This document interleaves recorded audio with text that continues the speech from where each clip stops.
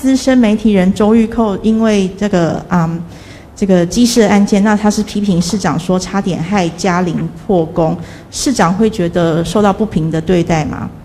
哇，这不是表示我们非常机警把他拦下来，这个要要入境，我说除非台湾不跟世界来往了，哦，那那主要世界来往就要维持机警了，我倒觉得这应该是一个很成功的拦截啊。想请教有关于台北市两个这个分读不同国小的姐妹，这个他们家长确诊的问题。那目前想要请教的就是说，他们这个小朋友大概是几岁？还有就是预防性停课人数大概有多少？那另外这个小朋友接触到其他的这个同学的部分有掌握吗？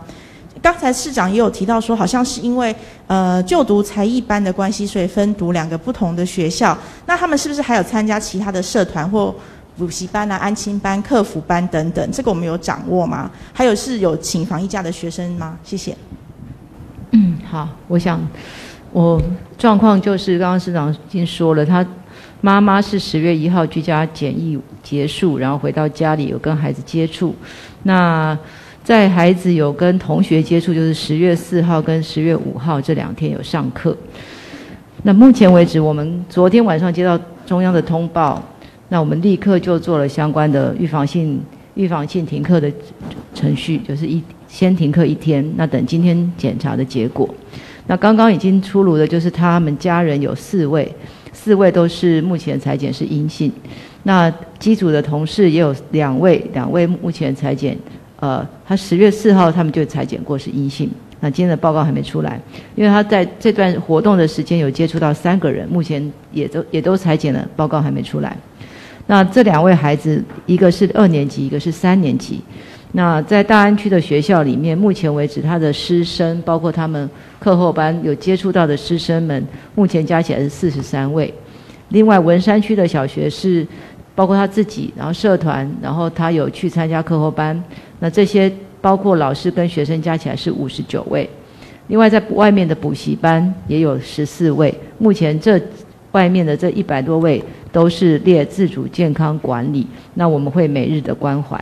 那接下来就是他呃，现在这两位孩子，就他自己的孩子，目前都是居家隔离，住在隔离的防疫旅馆。那今天因为检测出他的。抗体，我们认为说它可能是新案，所以这个部分我们会比较慎重，所以先做预防性的停课。那刚好也是国庆年假，所以我们在下个礼拜二才会恢复正常的校园。校园部分，呃，今天已经做清消，那我们在下个礼拜重新开的时候，我们也会再做清消。